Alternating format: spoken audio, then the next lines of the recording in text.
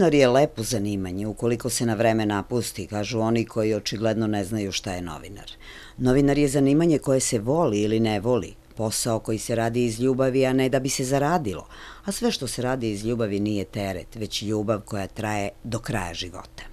Postoje ljudi, redki doduše, koji novinarstvo žive. Takvi ljudi, odnosno novinari, ne idu na posao, ne žale se na probleme, ne kukaju zbog para kojih u novinarstvu nema, ne prave oproštajne ručkove i ne odlaze u penziju. Osim toga, nemaju radno mesto, nemaju kancelariju, odnosno redakciju, a još manje redakcijski radni sto. Njima je radno mesto svuda gde su oni. Primerak sličan opisu natrčao iz Norveške u svoj rodni grad, a mi ga, što bi rekli novinari, uhvatili u prolazu.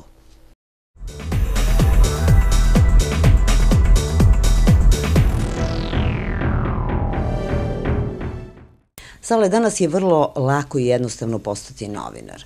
Teško je, međutim, ostati novinar šest decenija, je li toliko? Kako se ostaje? je li to pitanje ili zajedanje? Konstatacija. Šta je sad ovo? Pa kad dođu gosti u kuću, onda se tako pravi. Kuća svečanija, pa se upali i sveća. Ja očekujem i meze posle toga. Može da se konači ovde. Koliko vas je u ekipi? Samo dvoje, dovoljno. Šta to znači? Jedan novinar i jedan snimatelj. Jes. Sasvim dovoljno. Pod da nešto i napravimo. Šta ako jedan novinar može da napravi da dođe čak ovde da se popne na čarabni breg? Na tu tako jedinstvenu periferiju Niša dvoje novinara otići će još visočije. Jesi uvežbala pitanje, šta ćeš? Pa uvežbala ja, ali ti mene uvek zbuniš još iz onih davnih vremena pa do dana današnjeg, ali neću se zbuniti.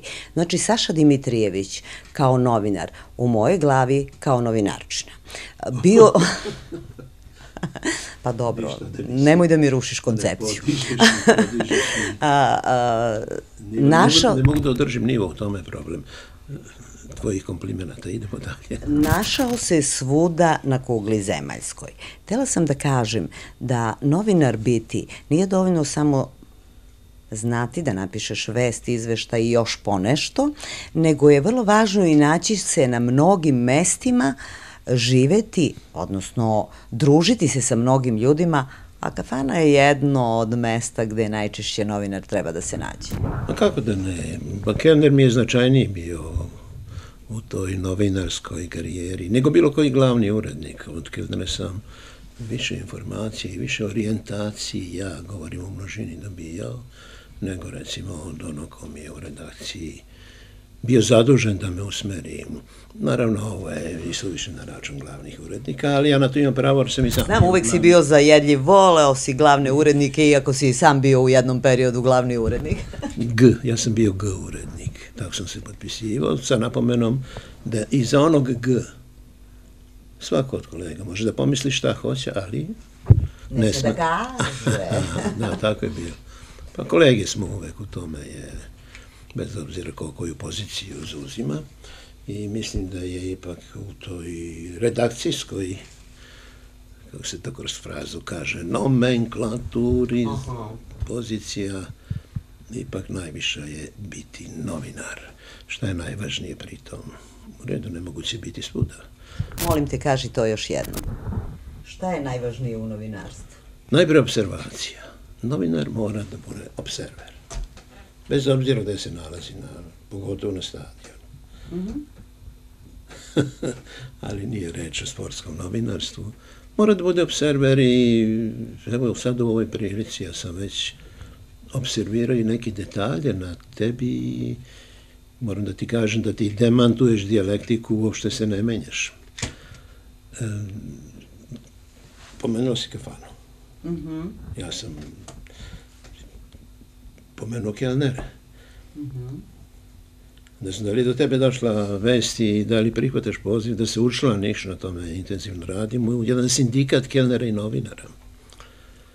Naravno da prihvatam. Jedva čekam da se učlanim u nešto što se razlikuje od sadašnjih sindikata, partija i, boga mi, udruženja novinara koja postoje.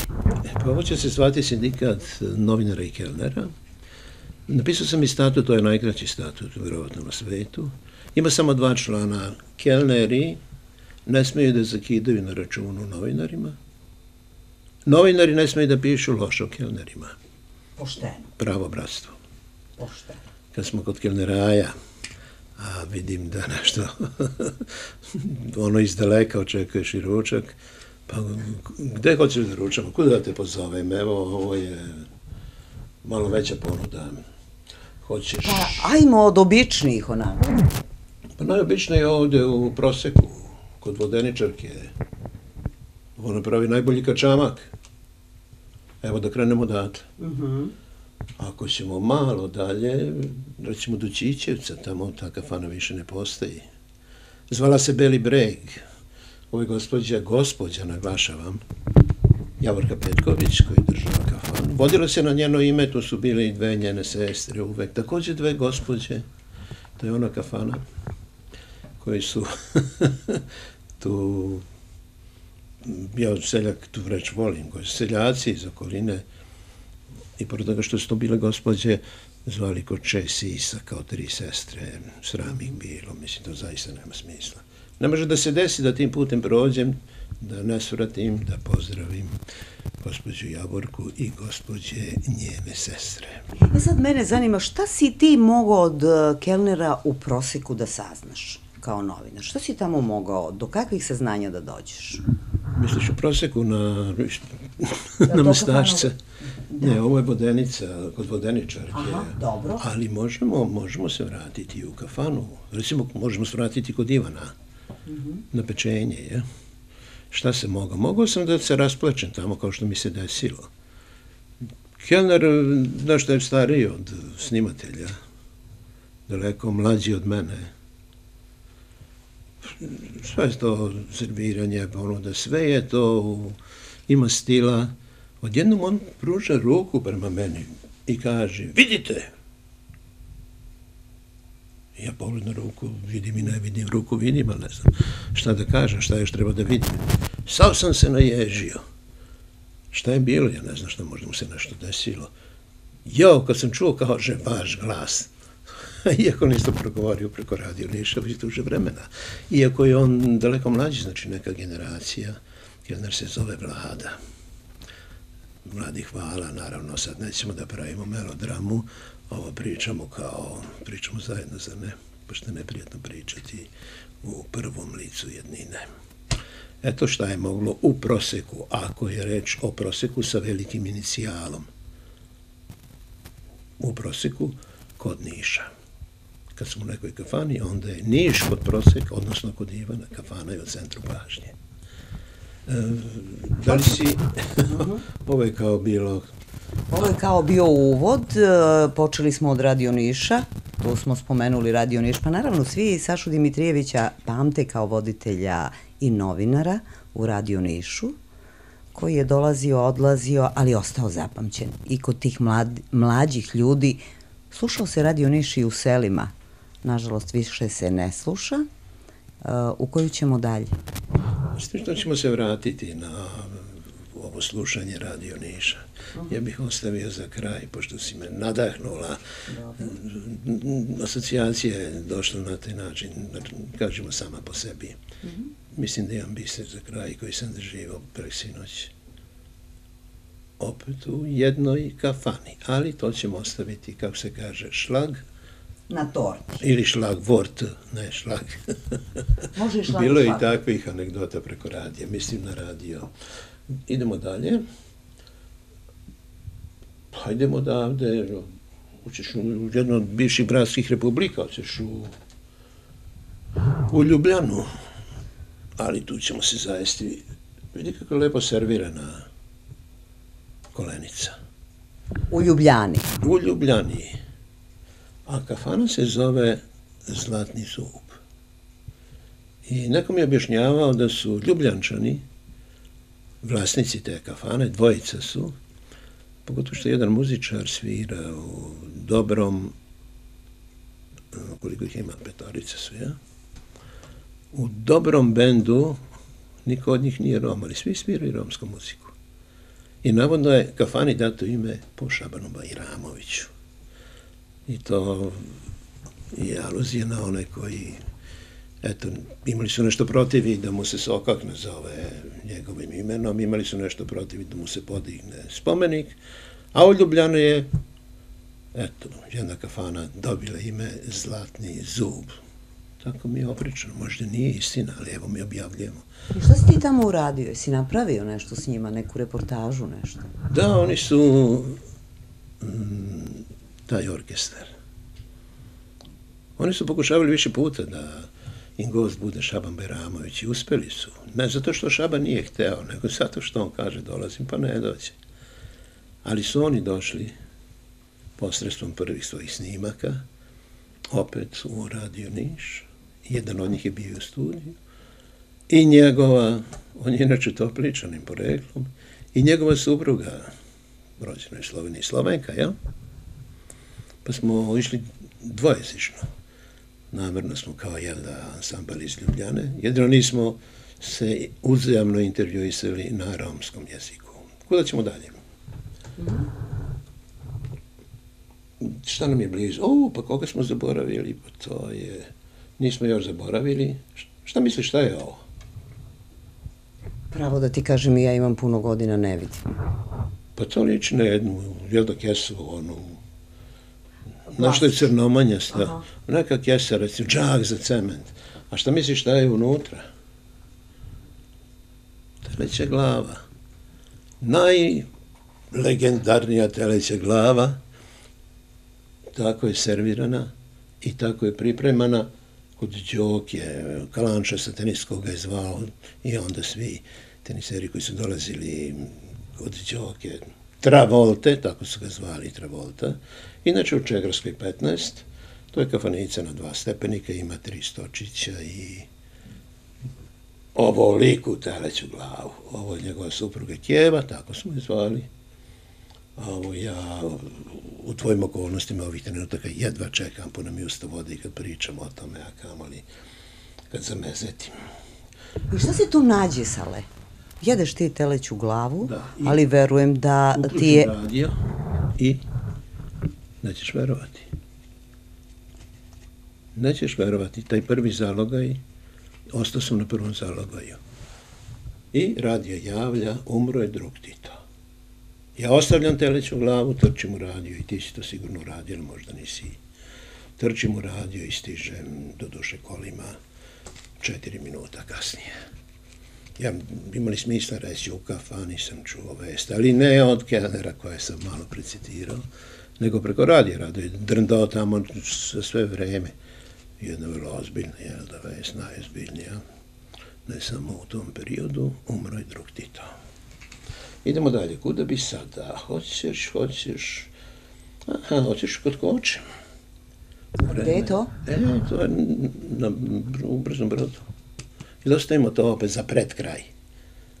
Te kafane nema više, ali ono što sam najavio za kraj, doživio sam u kafani Bizavi preko puta, novo otvorenoj, taj kafeđija ništa nije znao o tome, da je kafanu otvorio u neposrednom komšiluku legendarnog ćevabđije Koče, o kome su pisale i norveške novine. Idemo dalje. Gde smo ono stali? Aha, ovde nam je, pokušavam da budemo što više kod, kuće, jer možda ti se neće dopasti meni, ne znam, hajde jednu kaficu među vremenu da presečemo zbog cenovnika, evo ovde u Veneciji. Lepo piše tamo. Dopada mi se. Slažeš se? Mm -hmm. Pa ovako stoje stvari. Naravno, to ti neću reći kad budem plaćao račun, ali ti kažem unapred. Tamo lepo piše 6 evra šoljice kafe. Međutim, u plaćanju je 12 evra. 6 evra plus za muziku. To je muzika koja svira tu preko dana. I ovako uvek je Venecija poseban događaj, ne samo da se pije kafica, mada sam najgoru moguću picu na svetu pojeo upravo u Italiji, ali ne tamo gde je ona produkcija raznobojnog stakla, nego malo dalje, Burano, to su oni kućerci, šareni, obojeni. Ta pica je bila potpuno prazna. Ja ne znam kako. to je takođe suvenir. To je takođe suvenir. E, tu te čekam. Ne znaš italijanski, u italijanskom restoranu si, oko tebe italijani, a ti si Saša Dimitrijević koji nigde nije otišao da nije napravio neku reportažu. Šta si tamo uradio? Specijalno ovih 12 eura nisam pisao, ali sam um, napravio tamo gde je Hemingway boravio. Ali opet ne toliko... Kellner je iz prve rekao šta je pio Hemingway kad je tamo svraćao. To nije tačno, on je sigurno pio nešto drugo, ali je on bio na gotovsu. To uopšte ne treba, sad ću pitati, ili znate, ja sam mlađi, ne mogu znati to. I on se uhvatio za prvo piće tamo koje je bilo u toj rakijskoj, to je na rakijskoj listi. Tako da sam eto tih trenutaka pomišljao, Bože, pijem isto piće kao. Evo kako je lako postati Hemingway, a povodom, ovo je aluzija na tvoju prvu rečenicu, rekla si, danas je lako postati novinar. Misliš štampati vizit kartu novinar ili biti novinar? Na što se misliš? Štampati vizit kartu ili sesti prosto mm, i biti voditelj. Pa sad voditelj malo... E, ima tu mladih voditelja, ima i... Imam samo jedan savjet. Mm -hmm. Ja kada sam u kontakt programu, posebno jel, da razgovarao s ljudima i uopšte u intervjuisanju, ja sam veliku pažnju poklanjao i pauzama sagovornika. Ja ga pustim da on izgovori, to znači da ništa ne kaže, pauzu do kraja. Da bih dosta kasnije Znači, do tog trenutka je to bio moj, pod navodnicima, izum, moja alatka kao voditelja. Ali sam kasnije u jednom eseju Harolda Pintera, ja, da, koja je to, sve se nešto poredimo, malo čas Hemingway, ja verujem da mladi talentovani snimatelj da više i ne snima ništa, ne veruje da je ovoga što pričam. Ja mislim da snima. Taman posla, da ne veruje u to što ti pričaš. Ja sam tu koja mogu da posvedočim za mnoge izgovorene reči. On Ajmo je, on je, kad je pisao drame, naglašava, vodi računa o pauzama. Kad neki reditelj pokušao da mu izbaci te pauze, drama je bila kraća za jednu trećinu, pa je on reagovao, pa insistirao na pauzama. To je takođe poštovanje sagovornika, odpoštujte moji pauze, ali mislite posle toga šta hoćete. Kao kad pitaš, jel da devojku, ne mislim u ovim godinama, da li me voliš? Ako napravi pauzu, već je nešto sumnjivo, pa kaže da.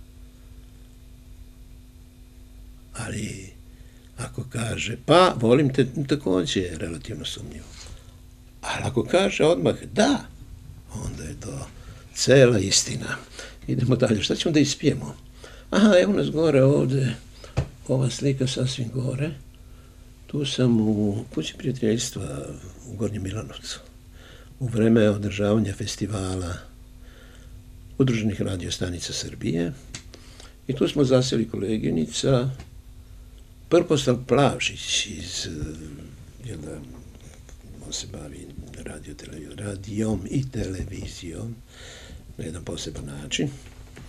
Bili smo nekako uhodano društvo, društvance, oni Đorđe Đorđević na svim festivalima i tu su mi zasili mezetili, pili i mnogo volim pohovane paprike, a taj gornjo milanočki kajmak je takođe mm, izuzetan. I ništa drugo nismo, ni o čemu drugom nismo preterivali.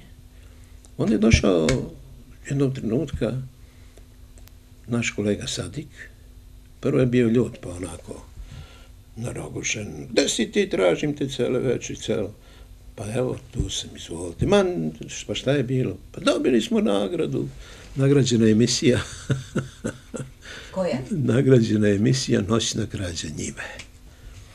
I to od žirija, do koga ja najviše držim, to je žiri radijskih stvaralaca. To su ljudi, to su urednici iz radio stanica, najviše iz radio Beograda, koji znaju šta je, da ne samo radio nekom smislu malo jačem od onih koji samo slušaju radio, nego su i proizvođači radio programa bili. Ali nije to bila uh, jedina dobra vest iz Milanovca. Za mene prva dobra vest, onda sam bio glavni urednik, bilo što sam povedao redakcije na festival. Ko hoće, mogao je da pođe. Mnogi su prvi put bili na festivalu. S druge strane, s naličja te nagrade, teško mi je pala zato što niko od novinara nije dobio nagradu. Nego je moja emisija, ili da ko je napravio glavni urednik, dobila nagradu, ali to znači da glavni urednik nije tu nešto odradio u redakciji pre svega, pa onda Današnja građanjiva je inače ostala u jačem sećanju i slušalcima. Koliko ti je radno vreme bilo? Pa bilo mi je 24, 24, kako je Čkalja govorio, H časova. Ja. Pogotovo kad sam radio na jutarnjem programu. Ja nisam smeo da odem u krevet jer ne mogu da se probudim, ja ne mogu pre ponoći da odem u krevet, treba da ustanem u pet. Ali sam imao divno društvo do pola pet, tu preko puta. Bata Vuki, legendarni, noćni čuvar silosa, penzioner. Kad je otišao u penziju, nije mogao da spava, on čeka da se ja vratim. Onda do mene četkarska radionica, Velja, noćni čuvar, četkarske radionice. I mi tako lepo sedimo. Bata Vuki mi referiše sve. Šta je video na televiziji, onda Jovan Šekić bio zvezda političko-informativnog programa u Beogradskom studiju on sećam se toga, on je intervjuisao Kardelja, bez obzira koliko je taj intervju napred dogovoren. A on sad doći da mi kaže kako je to dobro bilo. Pa ovako objašnjava, e, ovako govori još Čekić, onaj Breš Čekić jak u vilice. Kao postavljao dobra pitanja, kaže jak u vilice ja to nisam gledao, ne znam baš šta je pitao, ali sigurno da je, da je bio to. Idemo dalje, kuda ćemo? Ajdemo, o, pa nismo, evo nas u Srbiji gore. Sa Robijem i sa Čokalijom i našim dobrim drugom, mislim, u celoj generaciji. Nikola Mandrić, koji je danas u Holandiji, on je sa suprugom ovde. I sad, tako, našli smo se, baš smo se slučajno sastavili tu.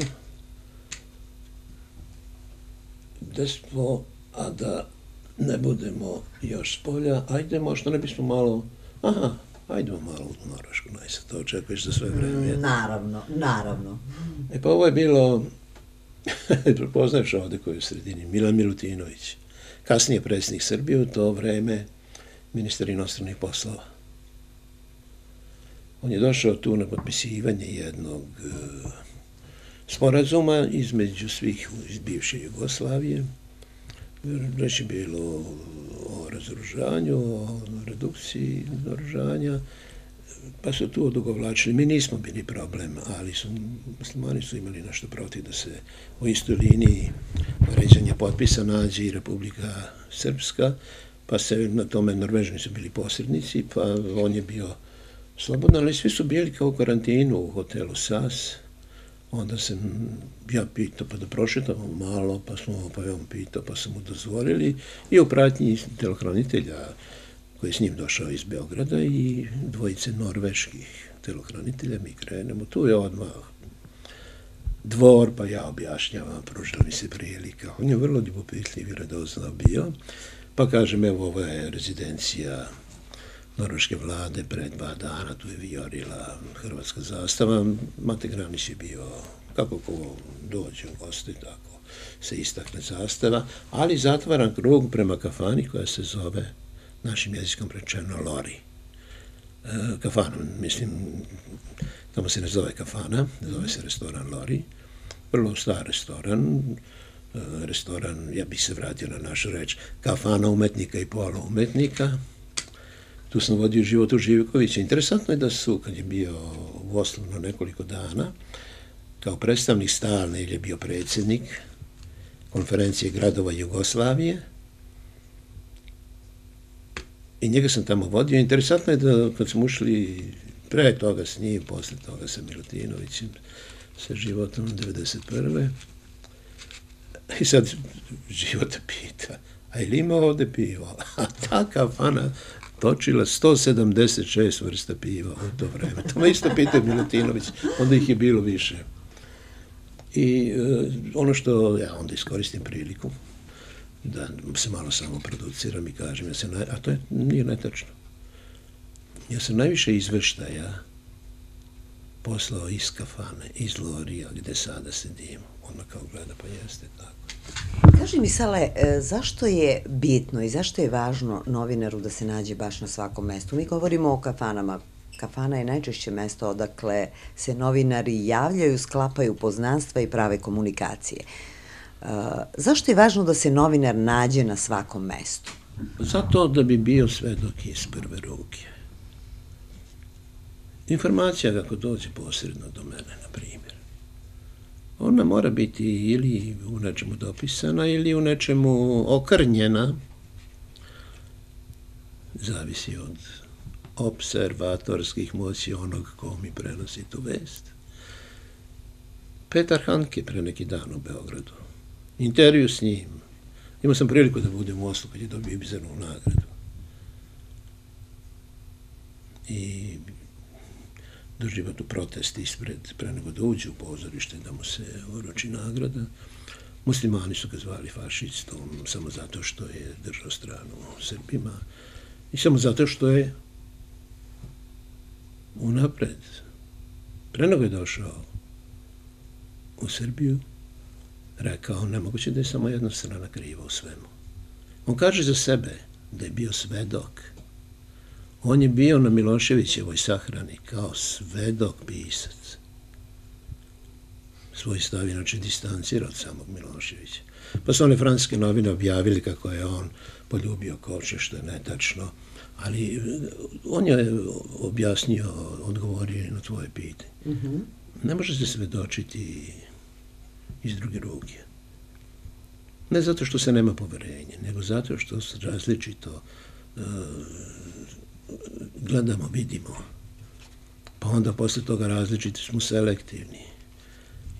Od onog materijala koji se nakupi, pogotovo u radio, ne može tri dana daj mi to jednu emisiju, nego mora da se sažme to ponekad na nekoliko minuta. Ja ne znam šta će ti sa ovolikim materijalom. Jel ti to prodaješ dalje ili... Naravno, u novčiću te, pa šta ću drugo? I onako su plate male, moram negde da zaradim, razume se.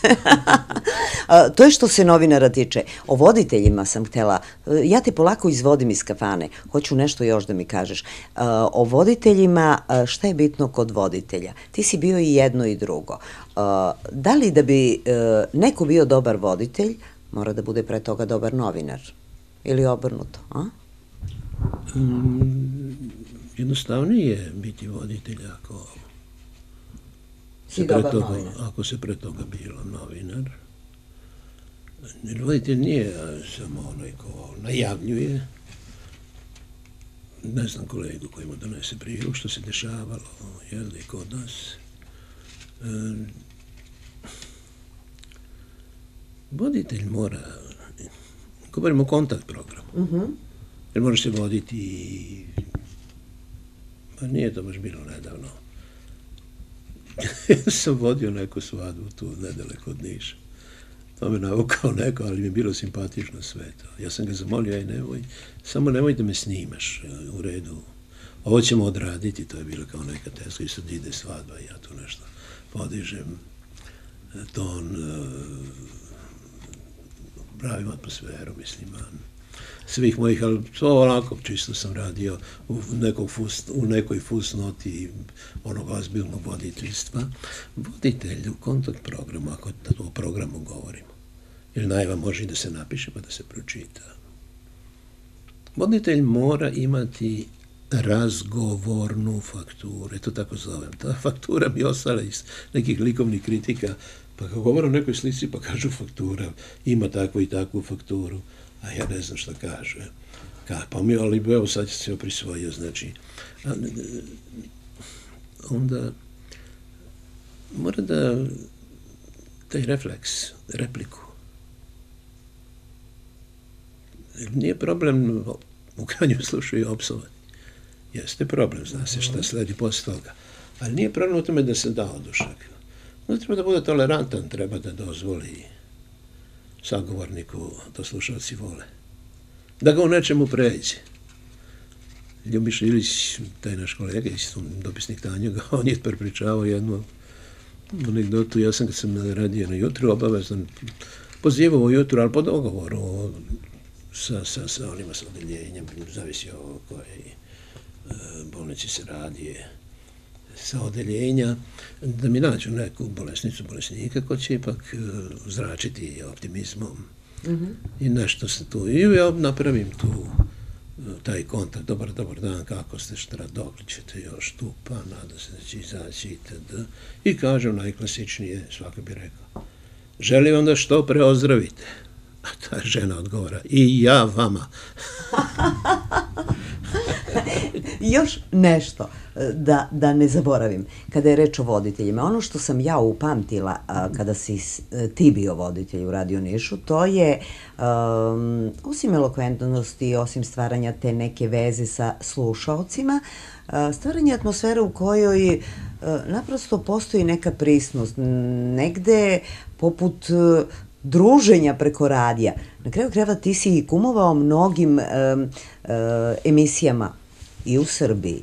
Ono čega se ja sećam i što tebe karakteriše kao voditelja, emisija koja je dobila ime Dobro ti veče Srbiju. Nije to moj izum, to je izum moje babe.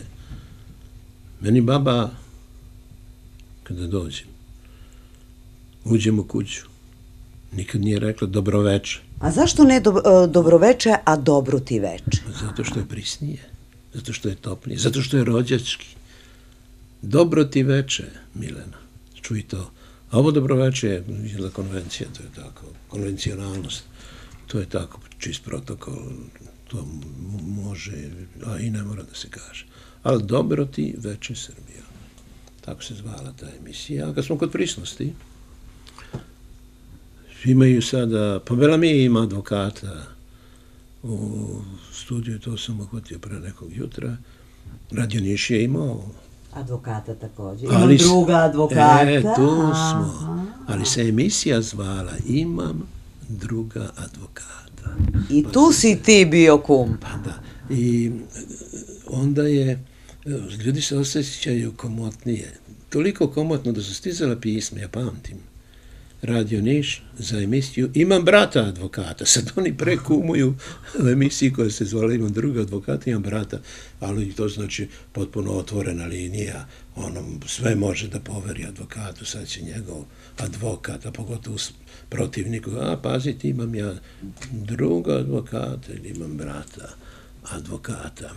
Ja se inače maltretirao naslovima, svoje vremeno što je bio će izgubitak vremena. Dešavalo mi se u jednom periodu da ne počnem tekst, ako pišem za novine, dok ne smislim dobar naslov. Što je pogrešno. Naslov ispadne. Izađe iz teksta. Ma da, uopšte ne treba se tu trošiti nikako. E, da te vratim ja u kafanu da me, uh, Hoću da me vodiš u onu uh, kafanu koju smo ostavili za uh, šlag, da. da. Mm -hmm, pa ajdemo prvo kod koče. Evo ovde smo kod Koče, ovo je Koča, legendarni Sivavđija. Je svetog Arhanđela i tu smo. A zašto smo to ostavili za kraj? Pa zato što sam uh, preksinoć tamo bio, ne kod Koče, ta kafana više ne postoji. Uh, zato što nas putić, u stvari kad tu siđemo iz autobusa, dva putića vode. Jedan u kafanu, koji je držao koča i koja više ne postoji. Drugi preko puta u novootvorenu kafanu koja se zove Porta. Interesantno ime za kafanu.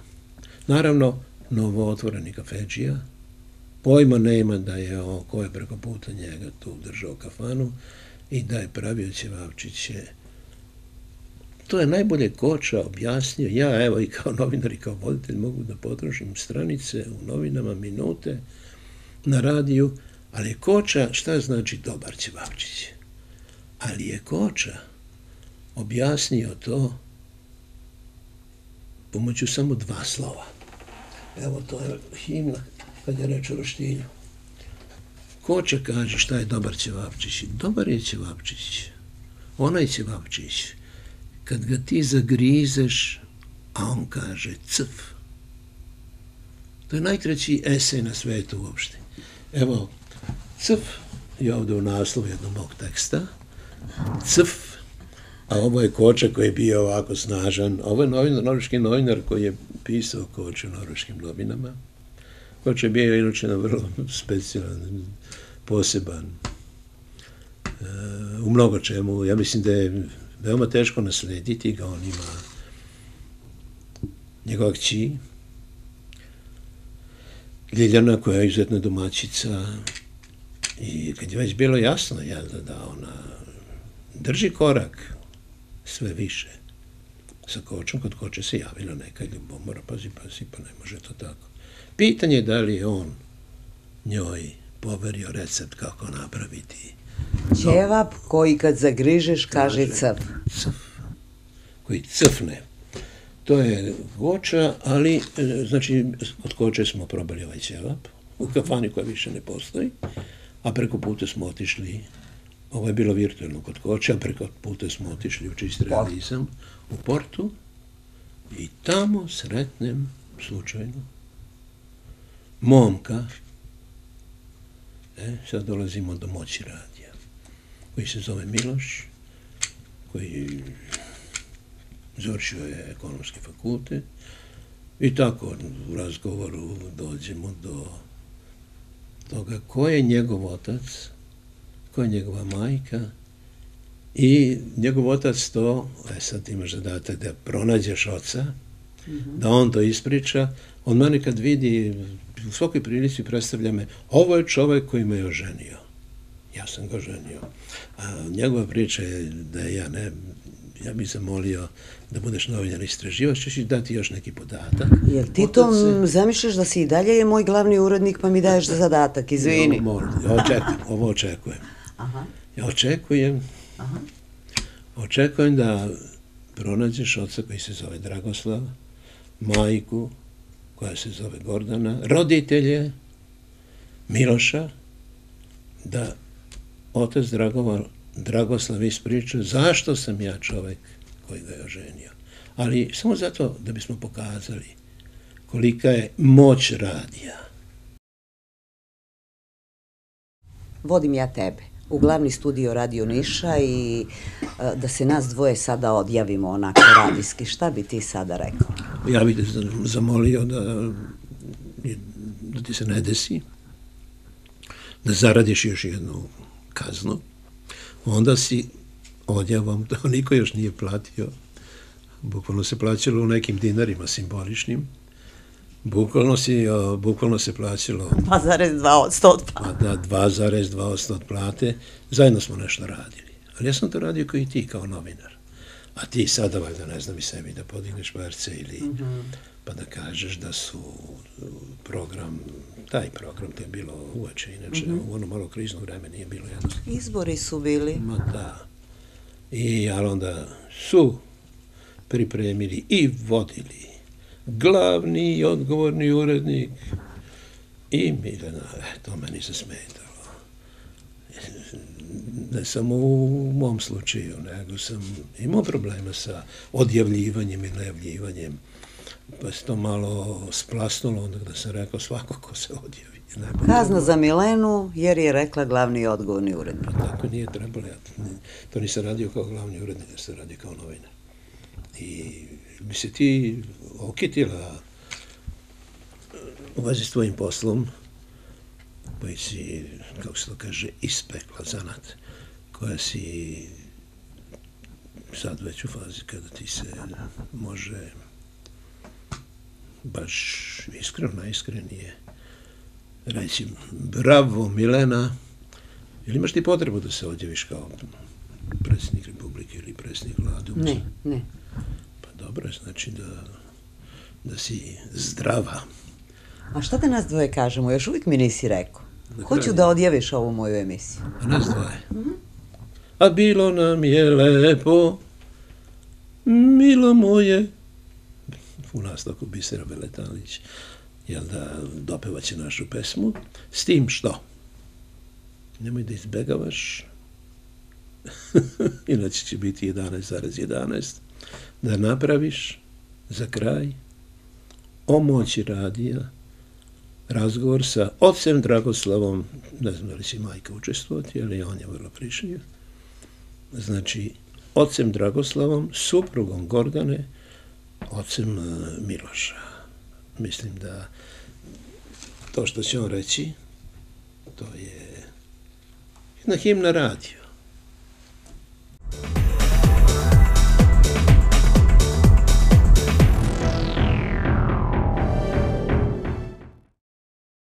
Saša Dimitrijević je već u Oslu. Javio nam se, pozdravljajući sve koji su ga nekada rado slušali na Radio Nišu. Sutra će biti ko zna gde, a preko sutra na nekom desetom mestu, noseći sa sobom svojih 60 godina rada u novinarstvu. Spada u novinare koji nisu stalak za mikrofon, niti prepisivači tuđih ideja i tekstova i koji do informacija dolaze na nemogućim mestima, najmanje u kabinetima, važnim institucijama i ustanovama, čekajući satima da budu primljeni od važnih ljudi koji raspolažu važnim informacijama preko sekretarica i PR-ova. Kafanske novinare ceni više od salonskih, više znaju i više umeju, kaže. I novinari su neurednici ovoga ili onoga, prosto novinari sa velikim na. Oni ne umiru u 45. Ne zanima ih zakon o penzijama koji svake godine produžava radni staž. Ne misle da je novinarstvo palo na niske grane rade onako kako valja, uživajući sve do posljednjeg teksta.